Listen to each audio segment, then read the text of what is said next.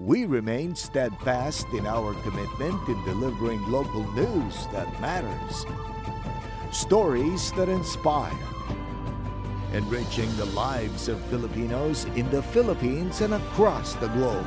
This is your GMA Regional TV, kapuso ng bawat Pilipino.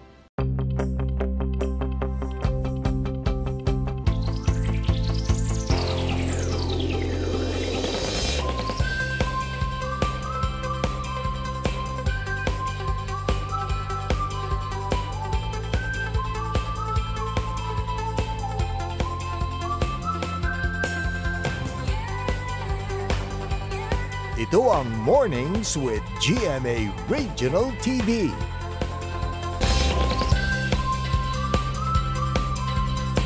Masantos, Yakabusan! Narimbaga bigat. Maya Pabak mga kapuso. Good morning, North Central Luzon. Mga kapuso, galaw-galaw at salubungin natin ang umaga ng may ngiti at puno ng pag-asa.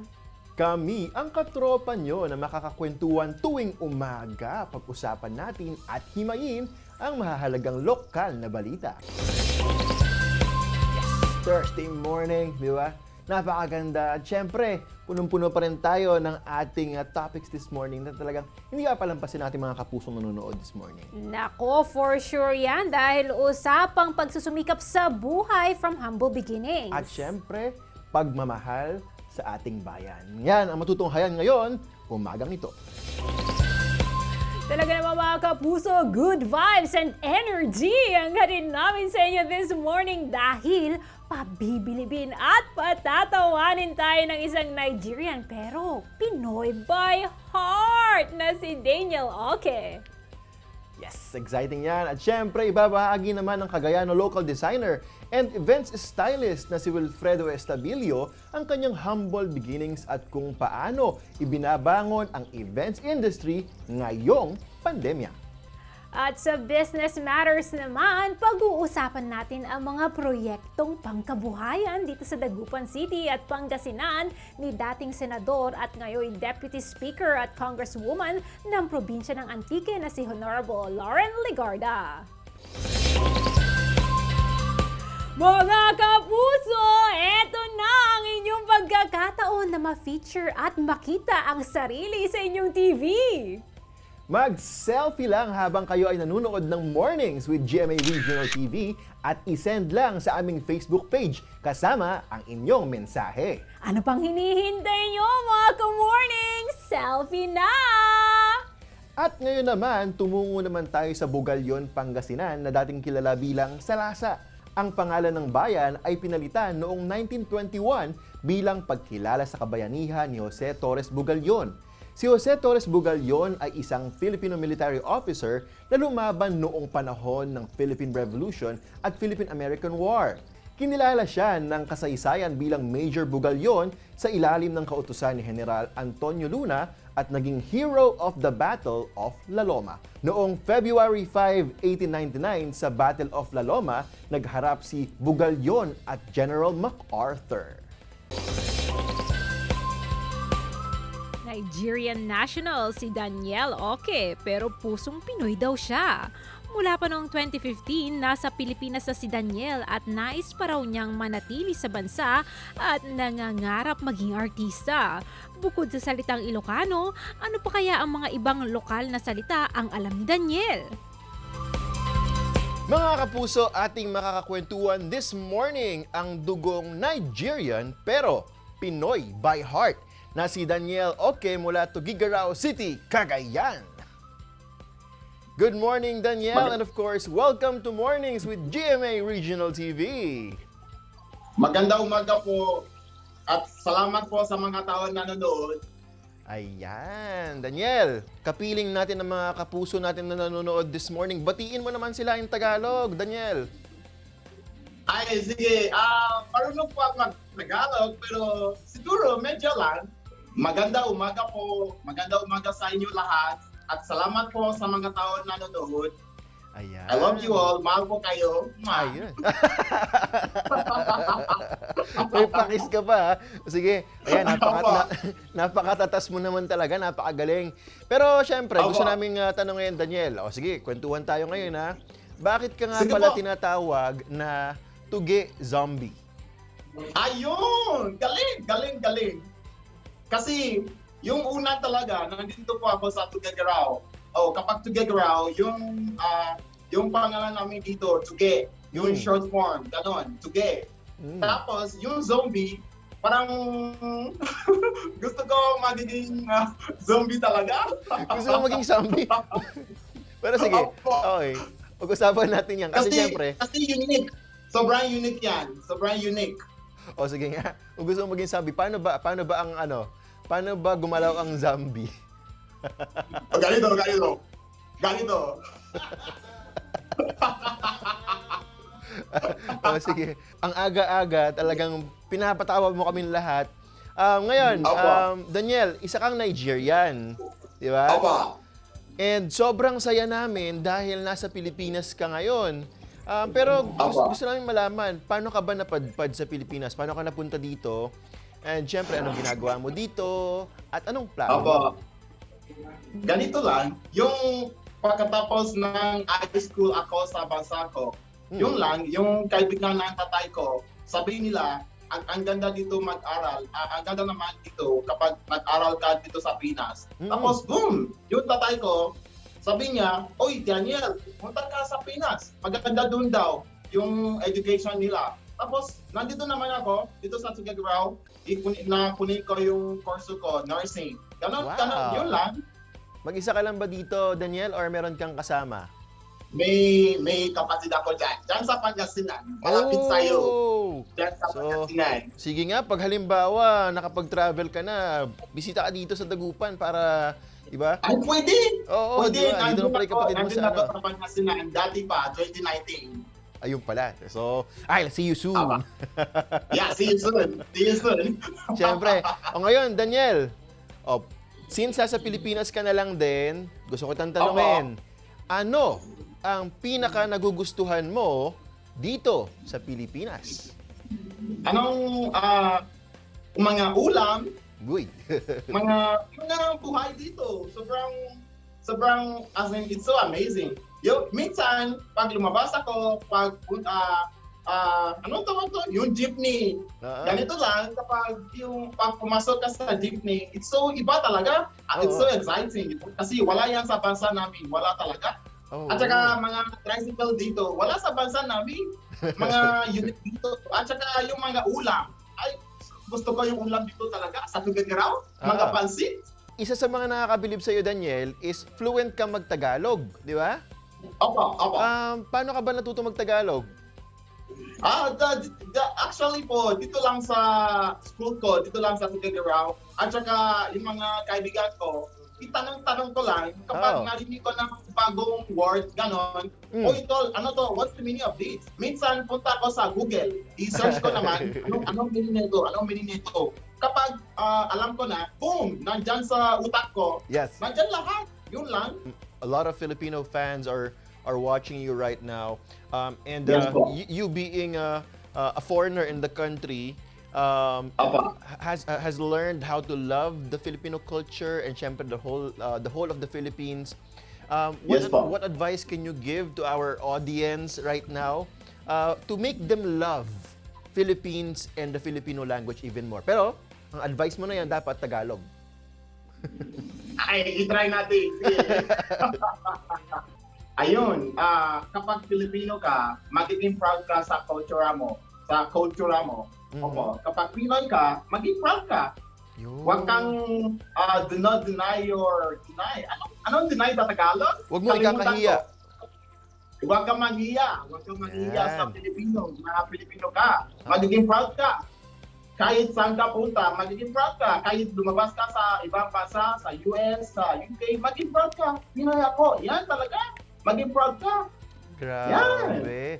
Agyamanak po. Agyamanak po.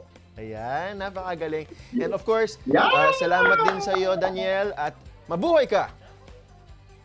Yan. Sige, ingat ka, Daniel. I'll see you in the future. Ingat po, ingat po. Thank you po, thank you po. Yeah!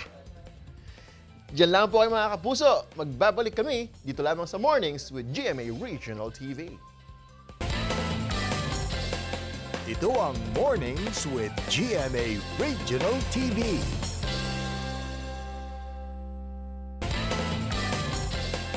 Ito ang Mornings with GMA Regional TV.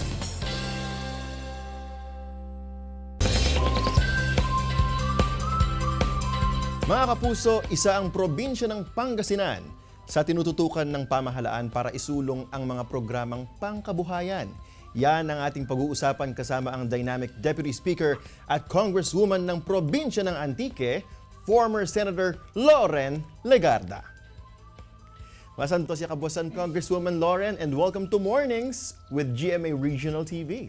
Good morning, maganda umaga sa inyo na yung paggabigat, Yomi na po, buwabati sa buong Northern Luzon, sa mga taga Dagupan, namimiss ko na ang bangos. Tsaka syempre ako'y deboto ng Manawag na madalas kong puntahan dati. Congresswoman, madalas niyo pong banggitin sa inyong mga interviews at press releases na kung ilalapit natin sa tao ang mga proyekto ng pamahalaan ay ah, mas masusolusyonan natin ang ah, problema sa kahirapan. Sa mga kababayan po natin dito sa Dagupan at sa kabuuan ng Pangasinan, ano po ba yung mga programa ng pamahalaan na maaaring makatulong sa kanilang pag-ahon sa kahirapan?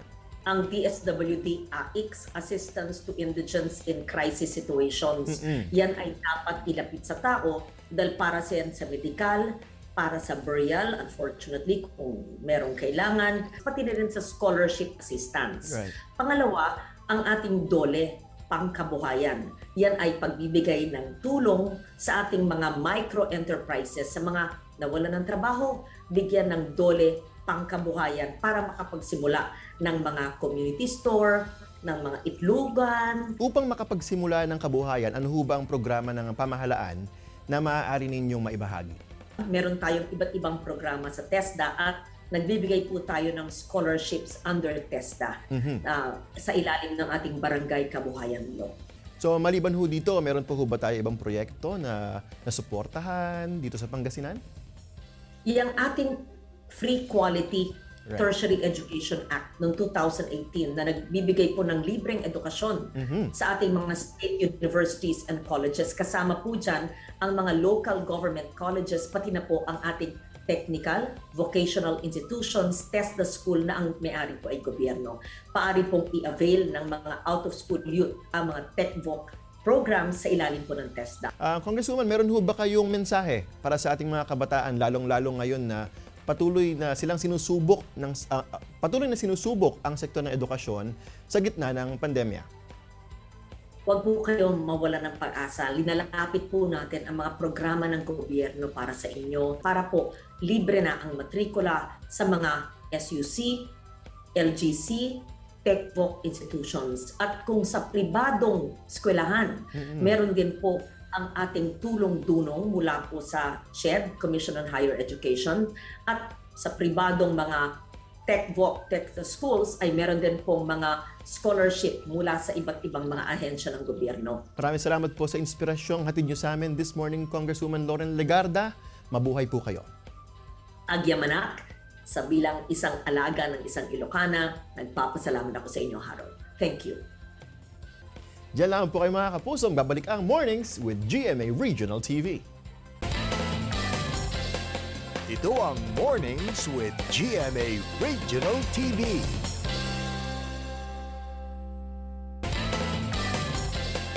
Ito ang Mornings with GMA Regional TV.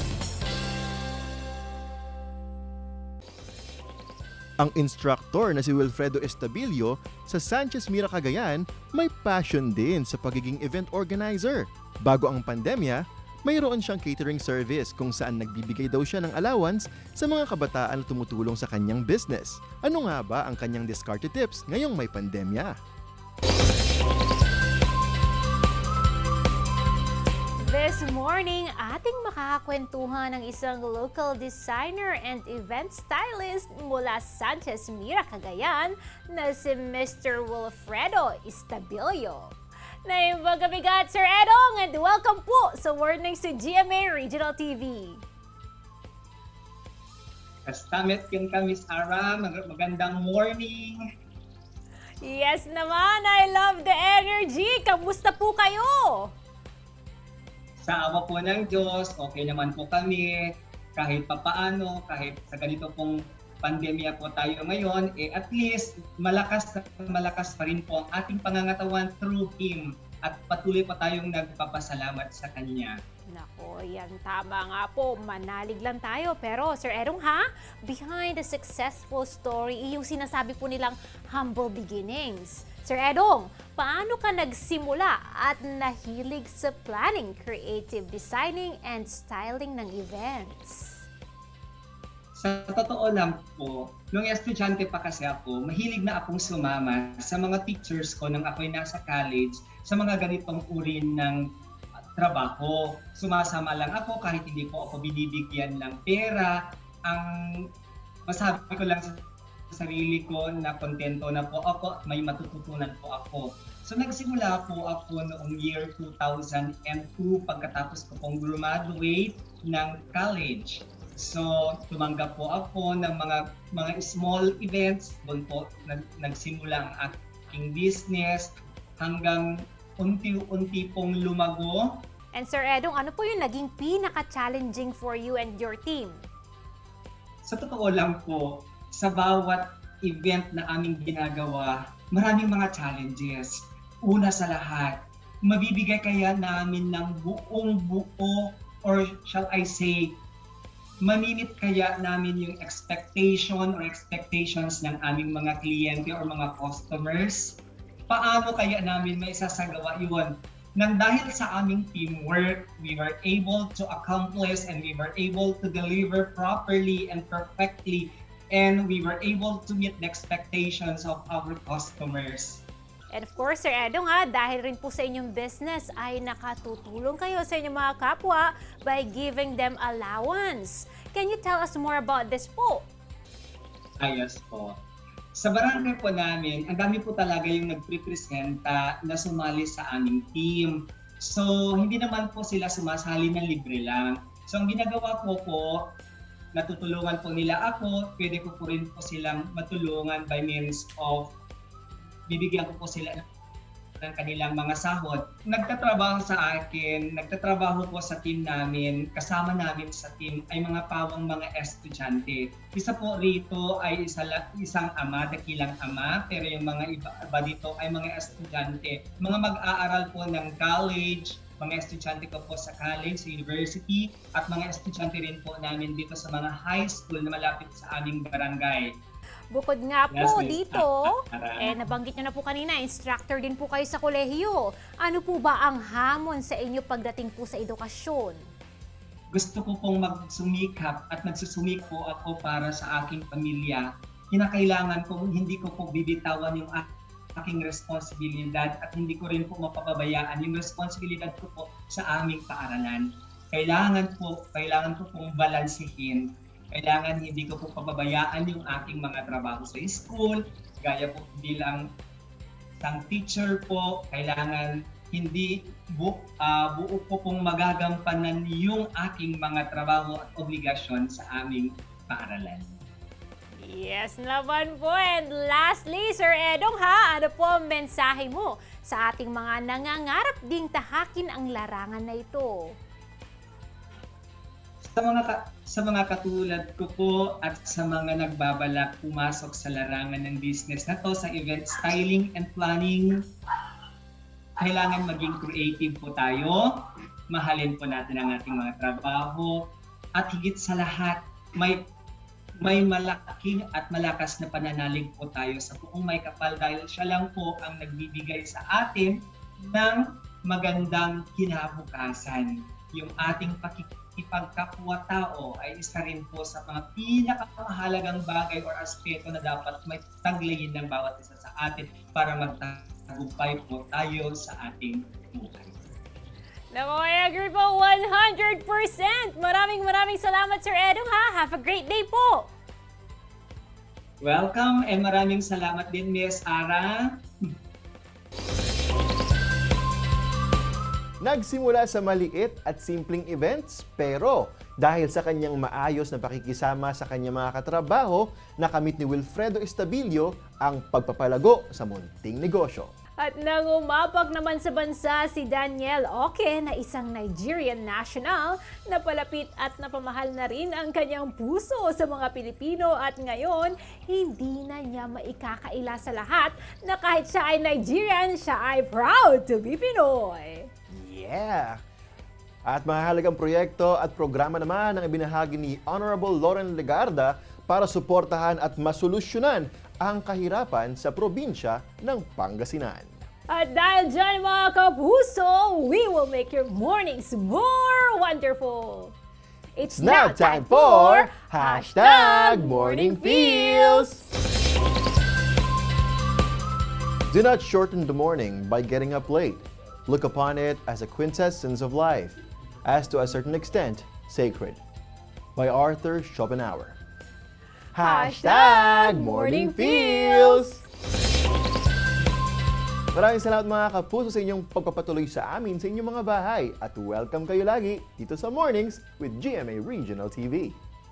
Maaaring mapanood ang ating episode sa pamamagitan ng pagbisita sa www.gmaregionaltv.com at mag-subscribe sa official YouTube channel ng GMA Regional TV. Mga kapuso, every day is a new beginning and every morning is a blessing. Kaya naman, samahan niyo kami mula lunes hanggang biyernes dito lang sa Mornings with GMA Regional TV. Ako po si Arahanesh. Ako naman po, Harold Reyes. Buong puso para sa Pilipino. Ingat lagi mga kapuso. Bye!